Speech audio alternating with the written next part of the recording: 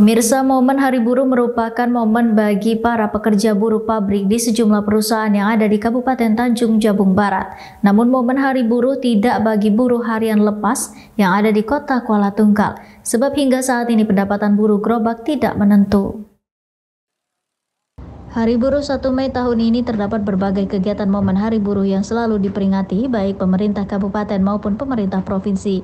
Momen seremonial belaka yang dianggap tidak menyentuh terhadap momen Hari Buruh ini, salah satunya para buruh harian lepas yang ada di kota Kuala Tungkal bahkan hingga saat ini, nasib mereka kian tak menentu. Karena sepi muatan barang yang menggunakan jasa gerobak mereka, tak hayal terlihat para buruh gerobak duduk di gerobak mereka sembari menanti masyarakat yang ingin menggunakan jasa gerobak mereka.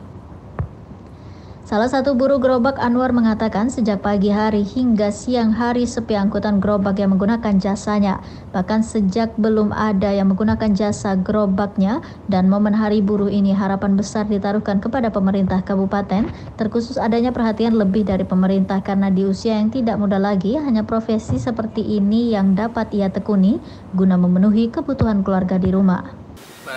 Kadang-kadang tidak mendapatkan sepi ya karena iya, sepi ini ya ini kena ini apa sepi ini karena memang angkutan apa barang tidak ada muat barang nggak ada juga tak juga yang toko toko dan semua dewe. Sudah ada gerobak sendiri ya? nah, mungkin kita selaku yang sering mangkalnya hampir puluhan tahun mungkin harapannya ke pemerintah seperti apa kalau di momen ini kan momen hari buruh nih satu Mei ini, mungkin apa harapan ke pemerintah? Ya, pemerintah ada lah. Diperhatikan seperti apa? Iya pertama perhatikan lah dulu kan sudah hari buruh ini kan. Heeh. Yang kedua itu apa ya kadang ada yang kedua itu masyarakat ini kan kadang Nah, sekarang nih eh, harapan tuh diperhatikan lah sebagai buruh-buruh ya diperhatikan ya.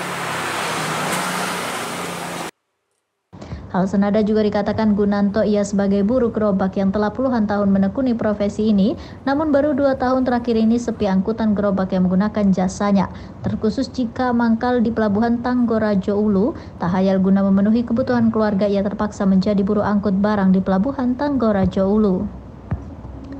Pada momen Hari Buruh 1 Mei ini setidaknya pemerintah kabupaten turut memperhatikan nasib para buruh gerobak sehingga mendapatkan penghasilan tetap. Karena saat ini penghasilan atau pendapatan buruh gerobak tidak menentu atau cenderung sepi masyarakat atau toko yang menggunakan jasa gerobak mereka.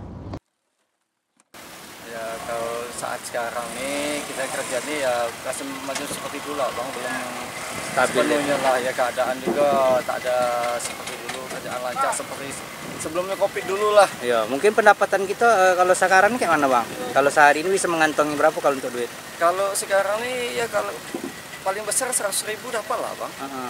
kalau itu pun kalau ada ini sudah tiga hari nih Kadang pun kadang tidak katik dalam sehari Nah, dia. kadang tak ada lalu baru kami baru dua hari nih ada kerjaan nih Mungkin kalau eh, di momen hari buruh ini harapan kita ke pemerintah seperti apa bang? Kalau untuk buru-buru gerobak nih? Ya harapan kami sebagai buruh gerobak nih sebagai sebagai harian lepas ya kami itu mohon ada pembinaan lah dari pemerintah bagaimana supaya kami ini bisa punya penghasilan tetap gitu bang. Mm-mm, kalau sekarang ini tidak ada tetap bang ya. Tidak ada tetap yang bisa tetap gitu pak. Kalau kita sedikit. sekarang ini untuk menyiasati supaya ini nih kita eh, ada juga kerja bangunan atau seperti apa bang? Ba- Yang buru-buru apa eh, untuk mencukupi kebutuhannya? ya sebagian teman-teman ada yang ikut kerja bangunan mungkin ada tempat lain kerja bongkaran karena kita kan lepas Oh. tadi ada terikat kita. Bongkar muat juga Iya, bang ya. bongkar di kapal lain ya. Di paret kopong atau di mana gitu. Kontributor BTV Ari Yusuf melaporkan dari Kabupaten Tanjung Jabung Barat.